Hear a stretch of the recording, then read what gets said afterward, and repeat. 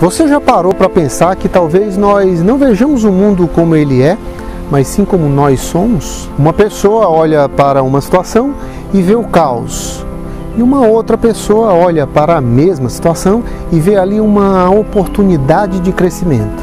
Isso ocorre porque a maneira como nós observamos o mundo aqui fora é, na verdade, um reflexo daquilo que nós somos por dentro. Esse é o princípio do espelho. O nosso mundo exterior reflete o nosso mundo interior. A grande pergunta é: qual a utilidade prática disso? Algumas vezes nos deparamos em situações em nossas vidas que são desagradáveis, desconfortáveis ou até irritantes.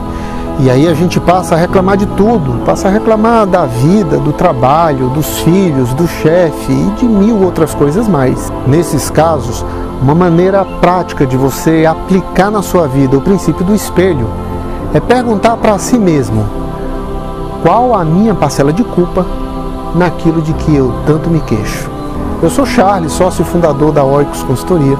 E se você gostou desse vídeo, eu peço que você compartilhe com alguns dos seus amigos ou marque aqui alguém que você acha que vai gostar de assistir também. Muito obrigado por me assistir, um grande abraço e até a próxima.